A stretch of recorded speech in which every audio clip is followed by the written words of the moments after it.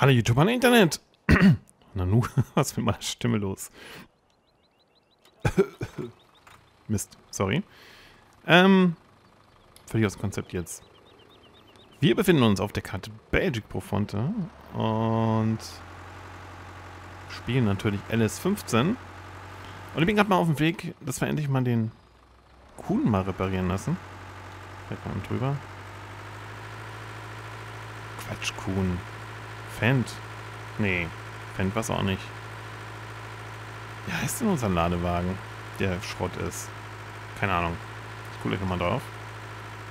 So, schon Hand raushalten. Und dann müssen wir hier mit zum Hof fahren, mit dem Kramer. Und mal den Unimog notdürftig zusammendengeln. Weil den würde ich heute gerne mal zum Einsatz bringen. Da ist der schöne Ladewagen.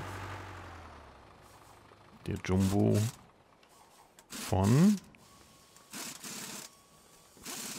Das ist peinlich. Jumbo ist natürlich immer von Pöttinger. Äh, der ist repariert. Ach so, okay. Hat uns übrigens schon 8000 Euro gekostet, das Ding. In Ordnung zu bringen. Gut, dann können wir den dann wieder abholen. Ähm, das könnte ja dann auch der Unimog machen, den rüberziehen. Wenn er dann erstmal wieder läuft. Ich habe ja hier hinten eine Reparaturkiste drauf, mit dem können wir den notdürftig reparieren. Und fahren wir dann halt hier mehr schlecht als recht hier rüber. Was mir gerade einfällt, wir müssten eigentlich dringend nochmal das Feld jetzt düngen. Ich, ich bin mir echt...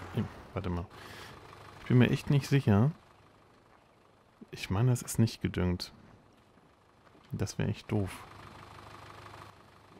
Das müsste ich als erstes machen. So, in 15 Minuten startet auch die BGA das erste Mal.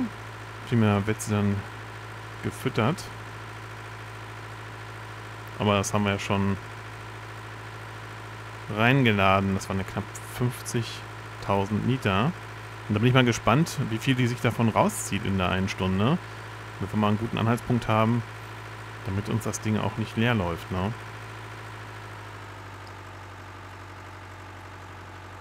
So.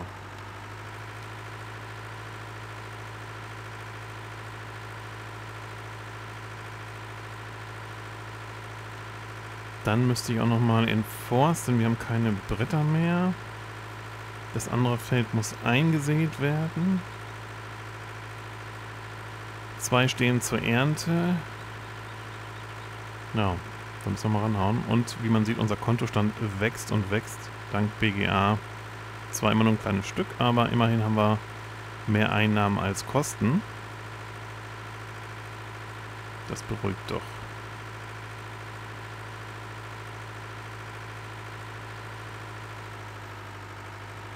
So, da wollte ich ja mit dem Anhänger oder mit, Uni, mit dem Unimog, ähm, wenn er wieder repariert ist, mal aus dem Seedmaster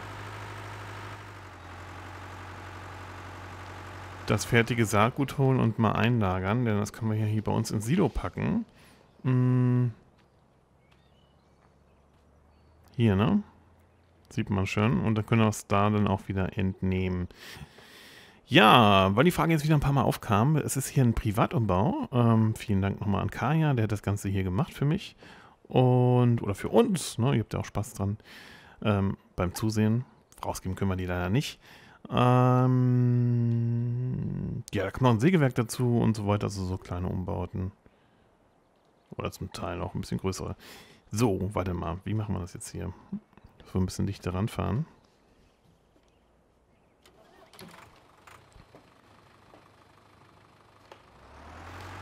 Ja, und warum die Maschinen kaputt gehen, äh, die Frage kam auch. Äh, das ist der Repair-Mod. Den findet ihr beim Modhaus da.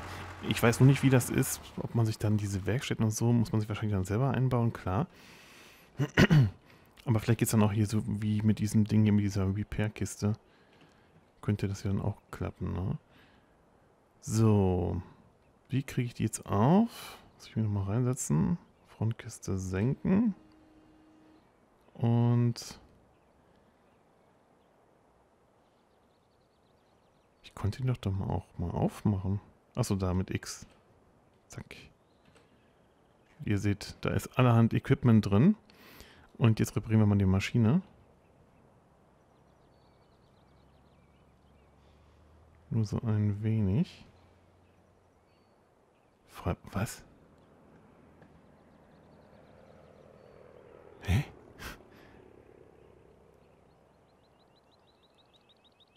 Stollfrontlader repariert? Der da hinten? War der kaputt? Okay.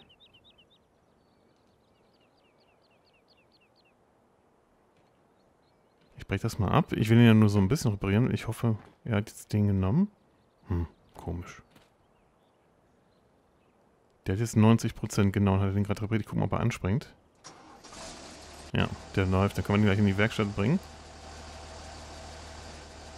Gut, die Kiste natürlich wieder zur Seite fahren. So, wieder zuklappen.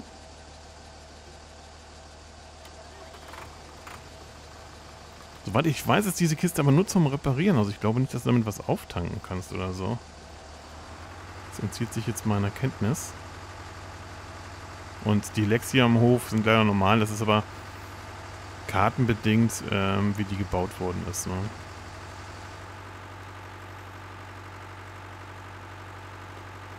So, den Unimog lasse ich noch mal ein bisschen laufen, dass die Maschine mal ein bisschen rund läuft, weil da war ja auch ein bisschen Wasser drin.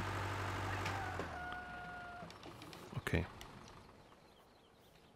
Mal hier abstellen. Und wir nehmen uns jetzt... Das könnte eigentlich auch der andere Traktor machen. Wie gesagt, der läuft noch. Dann springe ich mal drüber. Der kommt mal nach Hause.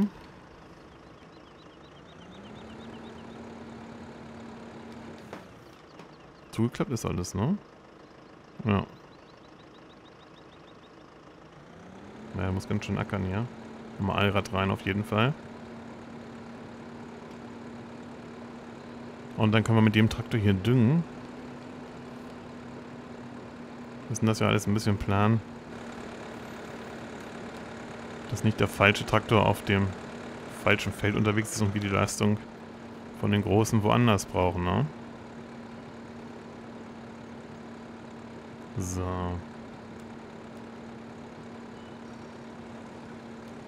Aber auf jeden Fall müssen wir da auch... Ich komme jetzt aber hier nicht rum. Denn, ich hole da jetzt wirklich voll aus. Warte mal.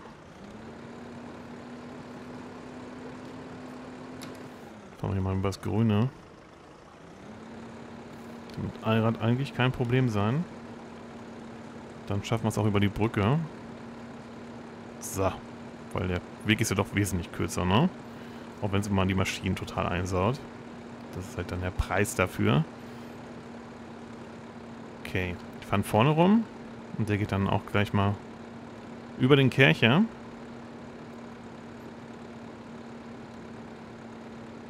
Und wir springen auch gleich nochmal rüber zur BGA und gucken nochmal, ob die vernünftig angelaufen ist. So, jetzt muss ich aber noch einen Traktor hier aus dem Weg fahren. Moment.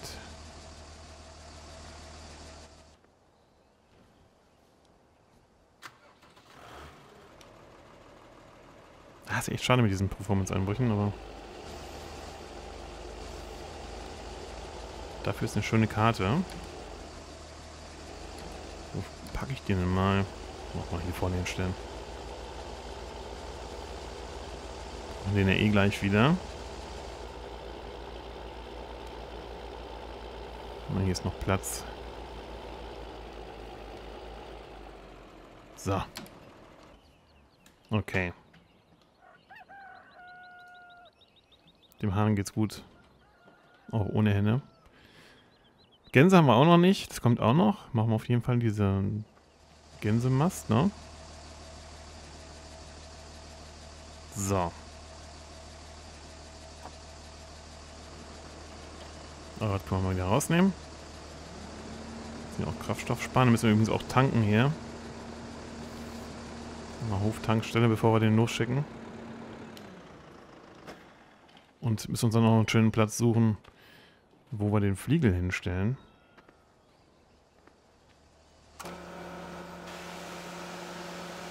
Der tollen Farbe. Die man übrigens gut wiederfindet.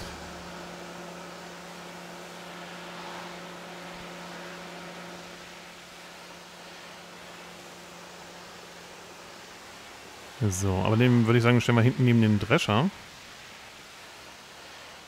Da haben wir ja noch genug Platz. So müssen wir nicht astrein sein, sondern hier nur mal ein bisschen drüber halten. So. Hier haben wir übrigens auch noch eine Anhängerkupplung dran. Finde ich auch ganz praktisch. Was?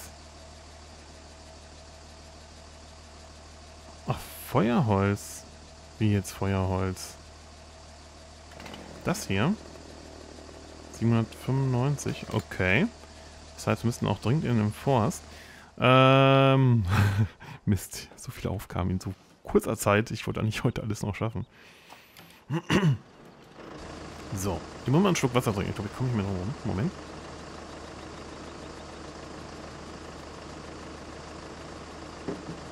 Sorry, irgendwie heute ein Frosch im Hals.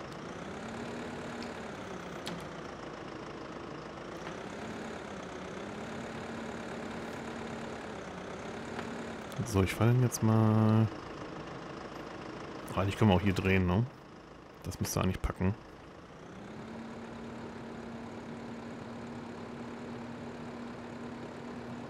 Ist eigentlich schön gemacht hier, der Platz. Ja, der Unimog läuft rund. Also... Wird es wohl schaffen bis zur Werkstatt.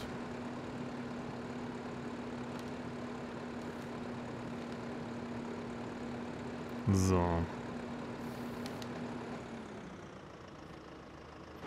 Probieren wir schon, wenn wir die anderen Maschinen hier alle im Griff haben, dass die alle laufen und rattern, Kartoffeln und Rübenschnitzel, Dingsbums, Wegmachmaschine und äh, was wir da noch alles so rumstehen haben.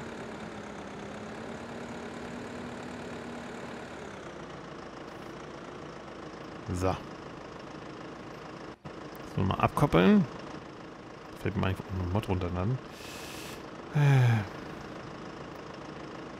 Oh. Zack. Und einmal schnell zum Düngestreuer.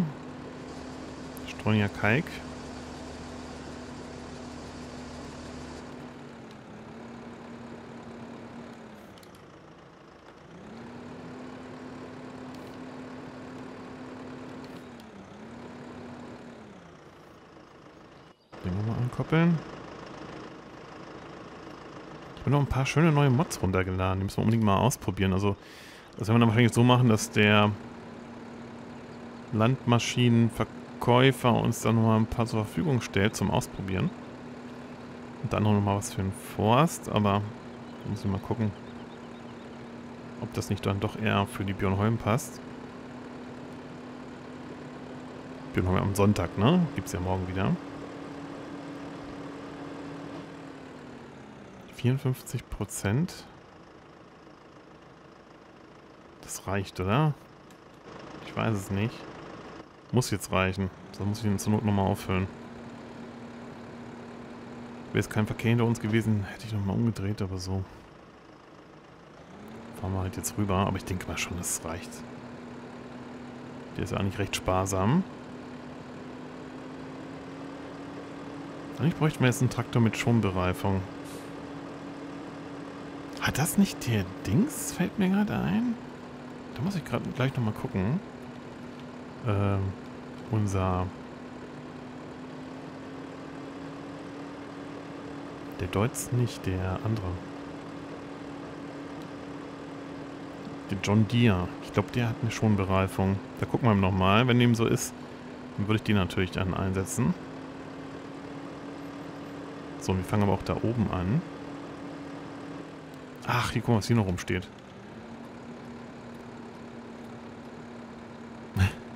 Mist. Muss ich auch nochmal abholen, bevor es hier noch geklaut wird.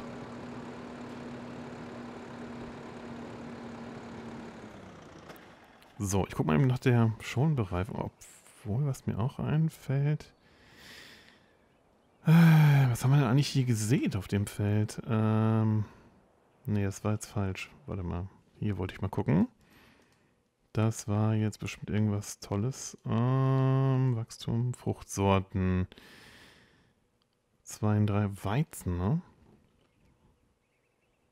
Weizen ist hier gesät. Ähm, ich überlege nur gerade, weil wenn der nämlich jetzt hier die andere Farbe kriegt, im Wachstum ist jetzt gelb. Jetzt könnten wir den nämlich häckseln.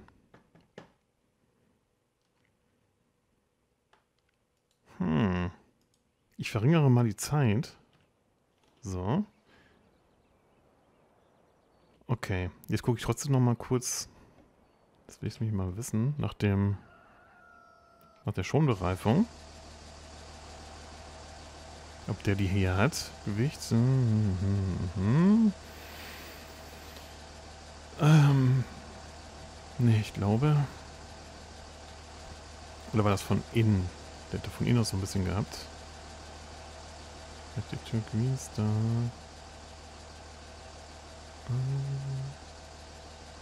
Saatgutrohr hat der noch gehabt, ne? Warnschilder an, aufbauen. Also ich bin mir nicht sicher. Ich meine, der hatte sogar irgendwie schon Bereifung. Ähm, Greens ausschalten. Das könnten wir mal machen. Nee, aus. So, und jetzt gucken wir nochmal eben, ob wir hier... Nee, bei den Reifen sehe ich jetzt leider nichts. Nee, geht nicht. Ähm, wir springen nochmal durch. Ganz schnell zur BGA. Moment, Moment, Moment. Das hätte man ja auch anders machen können, aber... Jetzt ist zu spät. Jetzt haben wir ja fast alle durch. Hä? Ah, da ist er. Die müsste jetzt eigentlich schon was... Oh ja, guck mal. Hat immerhin... Oh, alle gehen dann 20.000 durch, ne? Bis 9 Uhr ist er noch ein bisschen hin, läuft ja noch ein bisschen.